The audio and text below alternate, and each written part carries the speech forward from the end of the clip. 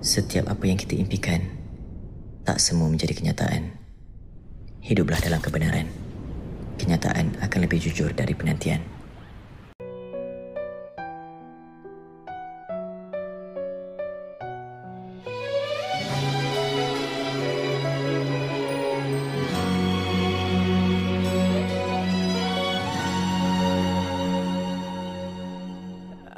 Apakah kau coba untuk menafikan keikhlasan hatiku padamu?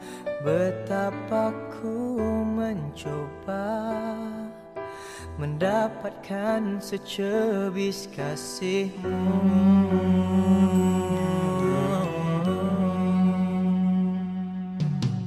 Apakah kau tak